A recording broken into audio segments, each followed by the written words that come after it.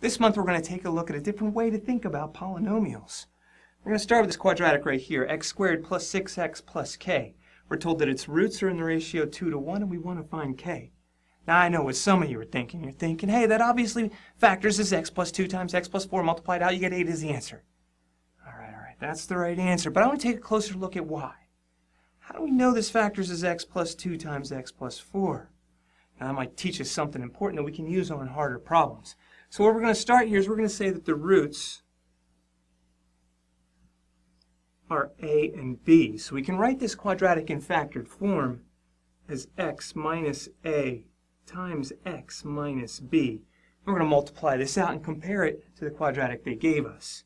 So we'll take, see, we multiply both, multiply by x, we get x times x, we get x squared. Multiply minus a times x, we get minus ax. Multiply x times the minus b, we get a minus bx. Minus a times minus b, we get a plus a b. I'll go ahead and group these two terms together, these two x terms. We have x squared minus a plus b, the sum of the roots, times x plus ab. Now take a look at this view of the quadratic. The constant term is the product of the roots. The coefficient of x is the opposite of the sum of the roots. Really nice way to look at a quadratic. Now, very important, what I just said is only true when the leading coefficient is 1. Now, polynomials with the leading coefficient 1, they have a very special name.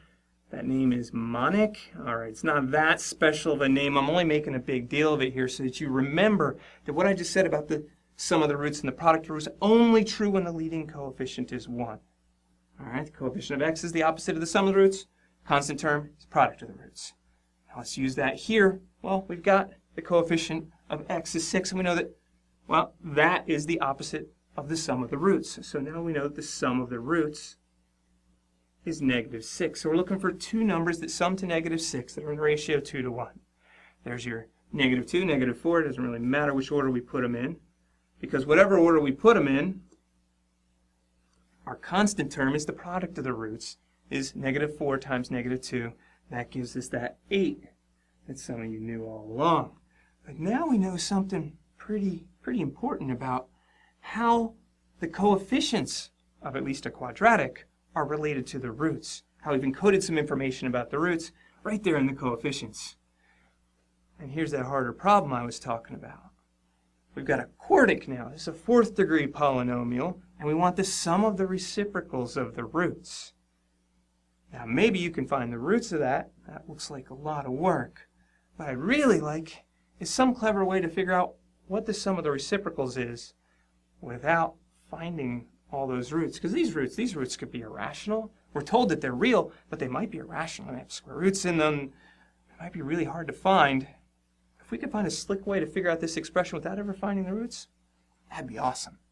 We're going to start the same way we did back here. We wrote the polynomial, the quadratic, in terms of its roots factor. We're going to do the same thing here. I'm going to get a fresh board here because we're going to do a lot of work here. Yeah, I know I said we're trying to avoid a lot of work, but this is work you're only going to do once. Because then you're going to have a different way to look at polynomials. And you'll just jump straight to this on problems where it'll be helpful. So we're going to write this polynomial in factored form. Its roots are a, b, c, and d, so here are our factors. Now I'm going to multiply this out and just start with just the first two. We've already done that, so we can go ahead and write down what that is when we multiply it out. We got it x squared minus ax minus bx plus ab. We already did that. And then we're going to go through and multiply that by x minus c. And then we're going to hit it with x minus d. So we're going to first multiply all this by x minus c. To forget about that for just a moment. So first step is to multiply each one of these by x.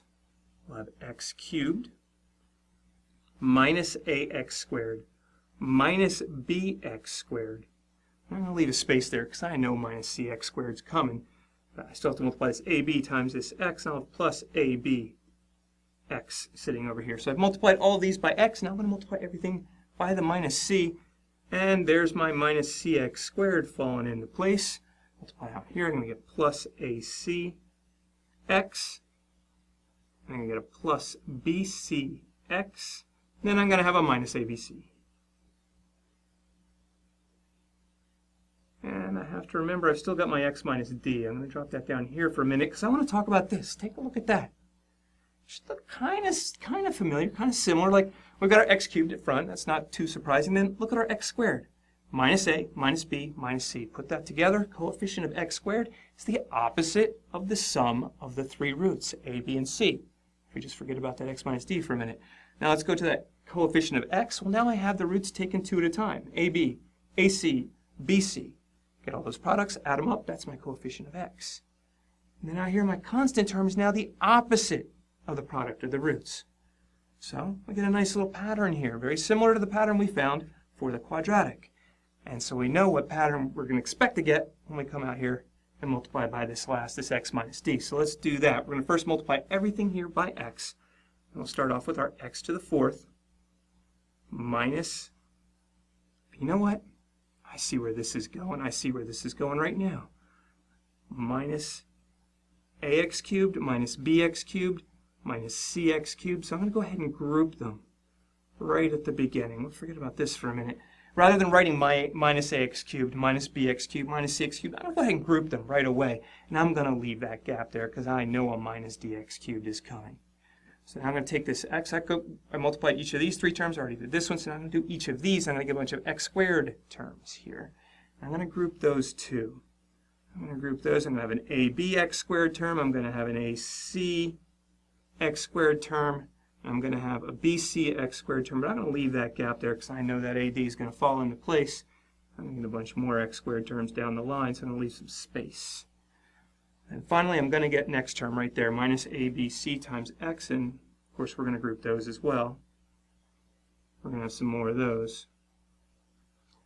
All right, so that's what I get. I get all these terms down here when I multiply everything up here by x. Now let's multiply everything by minus d. So I got minus d times x cubed minus dx cubed. That falls right into place as expected. Now I'm going to multiply by each of these. And I get an adx squared, bdx squared, cdx squared. And those fall into place very nicely right in here in my x squared row.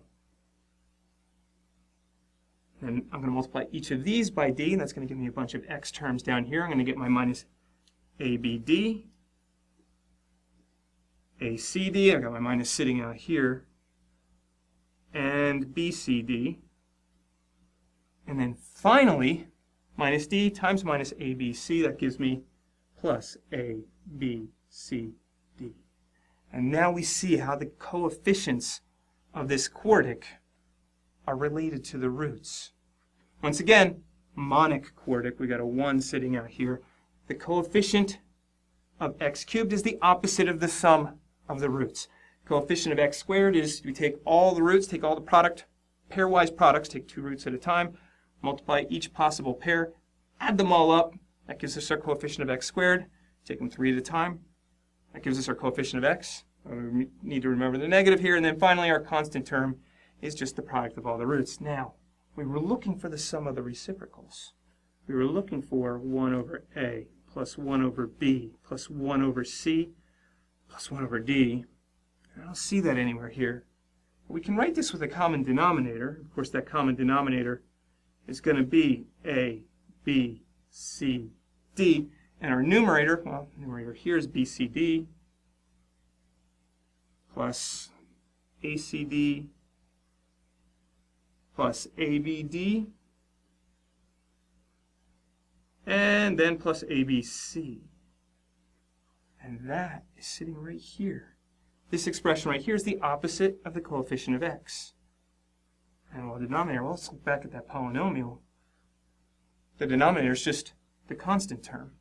The coefficient of x is 7. The constant term is negative 4. So I come back here the coefficient of x was 7. My numerator is the opposite of that, is negative 7. And the constant term was 4, that's my denominator. So my answer is just 7 fourths. You didn't have to find the roots at all. And once you start looking at polynomials like this, you'll be able to see a problem like this and just write the answer down. Because you'll see how information about the roots is encoded in the coefficients of the polynomial we wrote down right here. Then I want you to go back and think about what happens when this coefficient is not 1. Then things change, but only a tiny little bit. You'll figure that out. And I got one more thing for you to figure out. We were given a polynomial here. Given a polynomial, we wanted to find the sum of the reciprocals of its roots. Well, wouldn't it be cool if we could just write down a polynomial, a new polynomial, whose roots are those reciprocals?